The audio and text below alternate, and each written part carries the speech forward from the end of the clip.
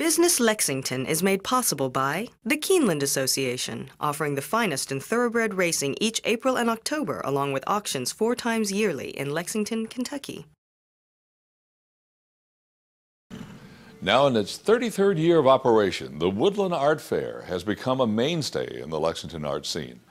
With over 200 artists from all across the country exhibiting their works and nearly 60,000 visitors annually, the fair has a significant impact on our local economy. Christine Huskisson takes a closer look at this annual event as a viable market for both the patron of the arts and our local artists.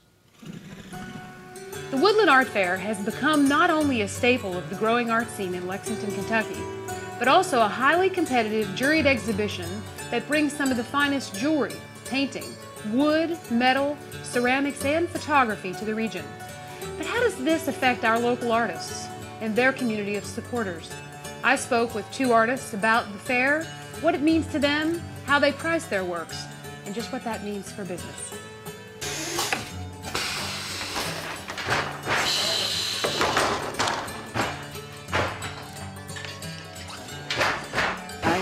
In business for 27 years, weaving rugs.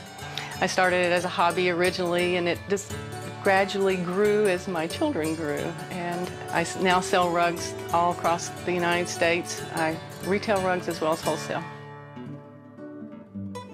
In the Lexington market, my main outlet is the Woodland Arts Fair.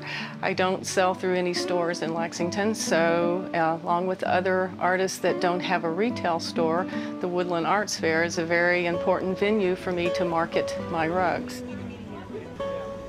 The Woodland Art Fair is where most of my business comes because people come by the booth and they see a lot of different styles of windows and then they, they say it would be just this is the kind of window they'd like to have or this is the kind of colors that they would like to have.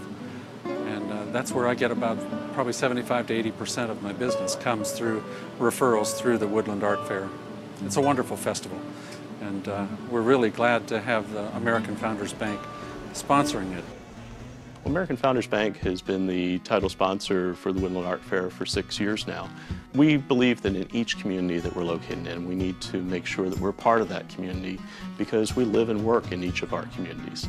In Lexington, the AFB Woodland Art Fair is something that's very important to us. It's a very special event. I think that if you talk to anybody who's attended the Woodland Art Fair, you'll realize that they really enjoy it. 65,000 plus who attend the festival. So it's, it's a lot of fun. It's a great event to go out to.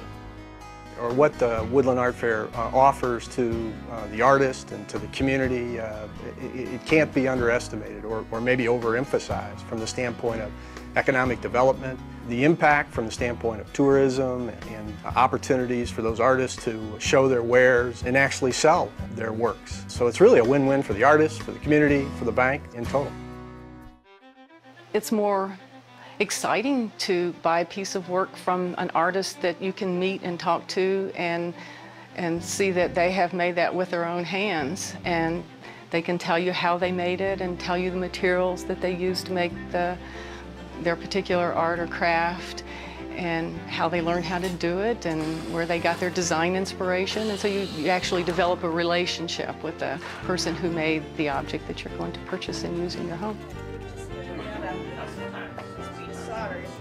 Each piece of glass has to be cut individually, and then it's all put together like a jigsaw puzzle, quite honestly. And then it's all put together with pieces of lead. And then all the lead is soldered. And then all the solder has to be cemented to make it completely weatherproof. And then you have to attach reinforcing bar to that in order to keep the window solid for 100 years. So even simple designs take a very long time and lots of hours of labor. If you really like a piece of art, but you just can't afford that particular price, then offer a price that you really can. If you're just trying to get a bargain, if you're just trying to get something as cheap as you could find it at Home Depot or, or at Penney's, then please, please don't do that because the labor costs in the United States just can't compete with the labor costs in China or in the Caribbean where some of the stained glass is coming from. Lexington Art League, like a lot of other Kentucky arts and crafts organizations, as well as the exhibitors that participate in it, have worked hard over the years to reach the level of maturity and experience and success that they enjoy today. And they have extended their exhibitorship to include people from all over the United States. And so it is a highly jury competitive show. If I weren't an exhibitor at Woodland, I'd want to come just to see all the beautiful work.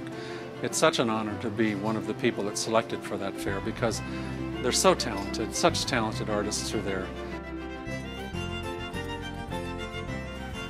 Do you attend the Woodland Art Fair, or has it just been a while? If so, now is the time to return.